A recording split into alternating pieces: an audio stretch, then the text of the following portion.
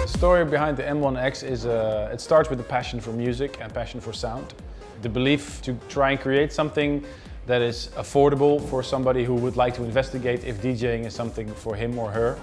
What I really noticed was that a lot of young kids and a lot of mothers came to me in the, in the supermarket and said, so my son wants to be like you, wants to be a DJ as well.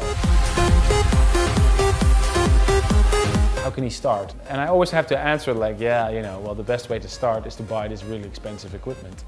So designing the uh, M1X uh, gives that group of people an opportunity to get in touch with the basic skills of being a DJ.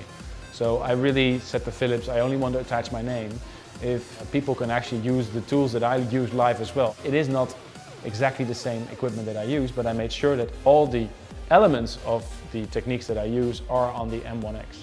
Well, I've never worked in a team like this. I never worked on designing a product like this. Uh, so for me, it felt really a little bit strange.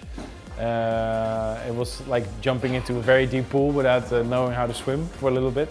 And I know a little bit what my crowds expect. You know, first of all, sound. Sound needs to be loud and it needs to be danceable. It needs to be fun. Uh, so I wanted to create a, a, product that is fun to work with and uh, that really blows your head off when you put it really loud. One of the quotes that I want to use with this product is uh, everybody's a DJ. And I think everybody, it has to be very easy for you to, to, to, to, DJ. And with the modern technology, it is possible. So there's eight D cells. Philips initially wanted to have a battery, but I wanted to have D cells so you can replace them.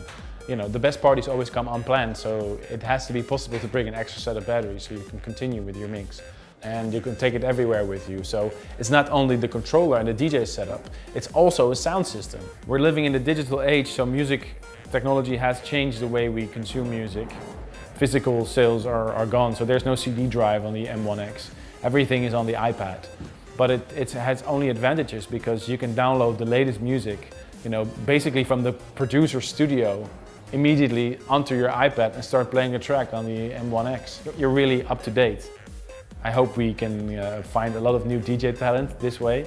Uh, and I hope that uh, yeah, people will just have house parties and have a great time with this product. And even if you don't want to use it as a, a, DJ product all the time, you can also have it as a great set of speakers and learn your skills as a, as a DJ. If you want to see if DJing is something for you, then the M1X can really help you.